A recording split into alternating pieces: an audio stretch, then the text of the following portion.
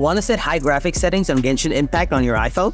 Follow this easy step-by-step process to set the highest graphics settings for Genshin Impact for high-end iOS devices. So let's get started. First, open the Genshin Impact app, tap on the profile in the top left corner, tap the settings icon, tap graphics. Now first set the graphics quality, set the highest quality based on your device. For me, it's showing me the highest quality. I am selecting the highest. Please note that setting high graphics settings can lead to overheating and frame drop issues. Now tap the brightness. Set the brightness the way you want. Tap render resolution. Select high. Shadow quality to high. Visual effect to high or highest. Set SFX quality to high. Set environment details to high or highest.